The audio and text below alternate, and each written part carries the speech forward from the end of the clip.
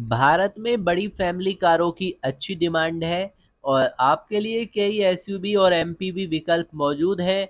और अब आने वाले समय में सेवन सीटर कार सेगमेंट में Maruti Suzuki Toyota Kia Motors Hyundai Motors Honda Skoda Nissan और रेनोड के साथ साथ सिट्रोन जैसी कंपनियाँ भी नई एसयूवी या एमपीवी लॉन्च करने की तैयारी में हैं। और अगर आप भी इन दिनों अपने लिए नई सेवन सीटर कार खरीदने का प्लान बना रहे हैं तो पहले देख लें कि क्या अलग अलग कंपनियाँ आने वाले समय में अपनी एसयूवी और एमपीवी को कुछ खास फीचर्स के साथ लाने की तैयारी में है।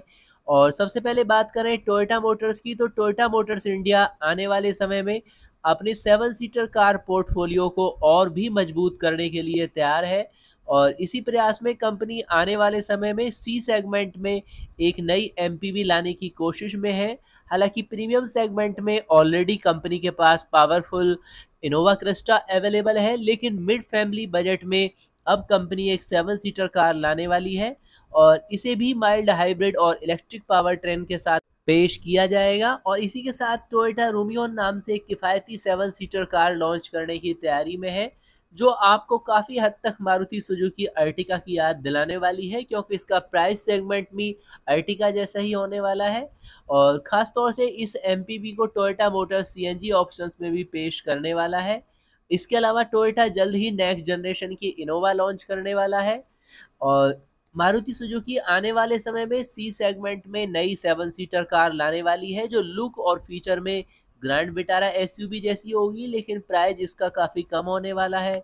और हुंडई मोटर्स भी जल्द ही भारत में एक किफ़ायती सेवन सीटर कार लाने वाली है, जिसका मुकाबला मारुति अर्टिका और किया कैरन जैसी गाड़ियों से होने वाला है। और होंडा मोटर्स आने वाले समय में हुंडई अल्केजर, टाटा सफारी जैसी एसयूवी को टक्कर देने के लिए एक नई सेवन सीटर एसयूवी लेकर आने वाला है। और नेक्स्ट जनरेशन की किया मोटर्स की भी एक सेवन सीटर्स आने वाली है, जिसमें बेहतरीन लुक्स और फीचर्स देखने को मिलने वाले हैं। और इसी के साथ निशान रेनो और सिट्रॉन जैसी कंपनियाँ भी आने वाले कुछ टाइम में अपनी किफ़ायती सेवन सीटर कारें भारतीय बाज़ार में पेश करने वाली हैं, क्योंकि ख़ास तौर से फैमिली बजट के सेगमेंट में जहाँ पर ड्राइवर जैसी गाड़ियाँ पेश की गई और उनकी डिमांड को देखने के बाद सभी कंपनियाँ इस पोर्टफोलियो को विस्तार करने की तैयारी में हैं, यानी कम बजट में सेवन सीटर का ऑप्शन देने वाली हैं। जिसमें देश की टॉप ऑटोमोबाइल्स कंपनियाँ शामिल हैं तो कस्टमर्स के लिए काफ़ी गुड न्यूज़ है कि आप चाहें तो टोयोटा या फिर निशान या इसके अलावा हुंडई या फिर मारुति की all new seven seater purchase कर पाएँगे, जो फैमिली बजट के अंदर फिट होने वाली हैं। साथ ही वर्ल्ड क्लास फीचर्स और लुक के साथ में अवेलेबल होंगी। और इसमें भी होंडा मोटर्स की लॉन्च होने वाली सेवन सीटर एसयूवी बहुत ही शानदार होने वाली है, जिसमें सिक्स सीटर और सेवन सीटर दोनों का विकल्प होगा। इंजन की बात करें तो 1.5 लीटर का नेचुरली एस्पिरेटेड और 1.5 लीटर का डीजल इंजन साथ ही टर्बो का विकल्प भी अवेलेबल होने वाला है। अन्य फीचर्स की बात करें तो इसमें हाइब्रिड का सेटअप मिलने वाला है, जैसे कि होंडा मोटर्स ने अपनी होंडा सिटी के अंदर दिया है, यानी कि माइलेज भी मिड साइज़ की इस एस का काफ़ी शानदार होगा।